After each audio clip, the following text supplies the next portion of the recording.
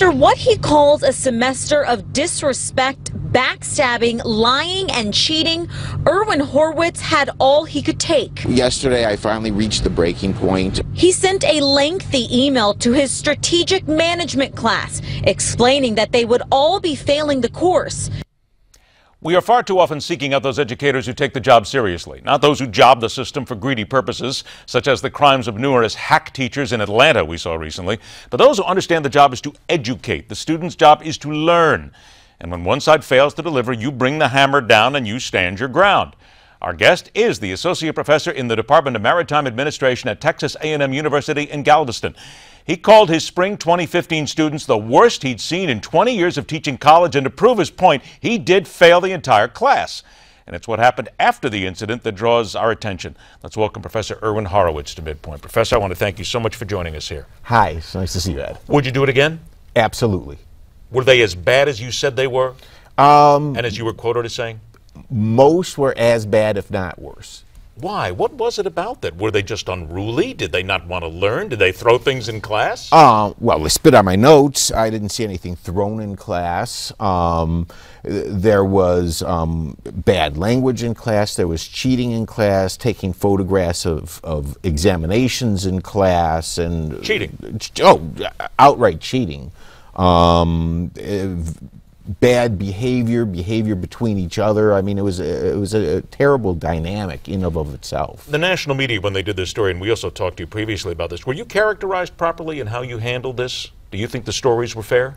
No. Well, yes and no. I, I, mean, I think the media, because of the very limited time, and at the time too, the Baltimore riots were going on, so mm. they didn't have a lot of time to devote to my story to to really get to the bottom of what was really going on. So they just they they they showed uh, you know the letter that um, you had just quoted for, from a minute mm-hmm. ago, and then the student reactions, and then you know just a minute or two of me talking. With regard to the students themselves and the fact that you failed them, have any of them come to you since that time and said you were right? Have they have has anyone communicated with you and said that you did the right thing? Um, not from that class. Uh, students from other classes have said that. Um, I've received lots of emails from educators all over the country that have expressed similar frustration with their classes. Um, some of them, it was very sad, that have you know, walked away from academia from the way that these students have been treating them. Does this speak to an entitlement? Because it really seems to me that you have not only kids, but you and I spoke a little bit before the segment here. There's also parents who feel entitled. Look, you're the teacher. You better get my kid an A. Yes, and I, I, think that that's what's happening now is, is what we're seeing. I mean, people people are very quick to say, well, these kids are entitled, but I think what we have here is a second generation of entitlement. The first being the parents, now the kids, and I don't know what their kids are going to be like, but that's frightening. This generation of kids now goes and says, "Mommy, Daddy, I got an F in strategic management." Well, in my day, if I said, "Mommy, Daddy, I got an F in strategic management," they'd say, you go back and you finish that degree and you do what it takes to, to, to pass that class. Now it's a customer driven mentality. Uh, uh, schools have become a business model. That's a terrible thing to say, that it's, that it's customers. This is supposed the to be learning for the rest of your life. The students are our customers and the students are always right. And the students apparently were right in this because you gave them failing grades and the university came back and changed them. The university came back, and, and in fact, I, what I brought along with me was that famous note that they've shown on the air, and, and you know where I failed them. But I'm going to read you one sentence that Very I wrote. briefly, take about 20 seconds. I'm sure many of you will line up to appeal, just as you did when you received grades you did not like. And from what I've seen, the school pays but lip service to their honor, honor code, so it's likely many of uh, you will win such appeals. In fact, 85% of the students in that class were given A's and B's. But you still feel that they didn't do the work, they didn't earn the work, so they don't deserve that A. no, they didn't earn the work whatsoever. So where do we go from here then is the next. I got about two minutes left and I want to make sure we push this forward.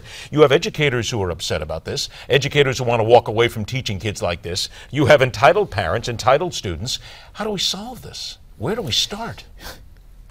we have to start there's no easy solution, but if we're going to start, we have to start by putting our foot down and saying, hey, back in the day, it used to be that you pay your tuition as a right to attempt to get a, a, degree, and then you have to work for the degree and show competency for the degree, as opposed to the customer mentality now of, hey, I paid this money uh, for tuition, where's the piece of paper that I paid for? And there's a big difference between earning that piece of paper and just paying for it. And you're talking about teachers themselves have to buy into this, and they have to also teachers be part of it by to, realizing teachers they are not put, just delivering to a customer. That's right, because they changed the grades that that um, they were part of the, the grade changes, although that came from the administration. But nobody wants to fail the kids because the same thing will happen to them that they're going to get their grades changed. So what happens is, and, and when you add an honor code to it, like Texas A&M did, well, we have an honor code it makes them more hypocritical to turn around and just erase the grades and give the kids what, what they want or the parents want. That's want. pathetic. I got 30 seconds left. Will you stay a teacher? Does this uh, deter you at all? And will you stay at Texas A&M? Well, Texas A&M is, is is completely a hostile work environment, and it was. I mean, even when I was there, they were they were spitting in my notes, as I told you. Mm-hmm. They were mm-hmm. swearing, uh, acting all sorts of, of, ways, and so Texas doesn't seem like they're able to, to get a get any control over their kids. And but are you going to stay there? Am I going to stay there? I, I um, am you know, uh, not planning on staying there. Um, I, I, may. It, it, depends, of course, on uh, other job circumstances. Well, let this be a lesson to educators, to Texas A&M and others. Kids, earn the grades. You don't get them given to you.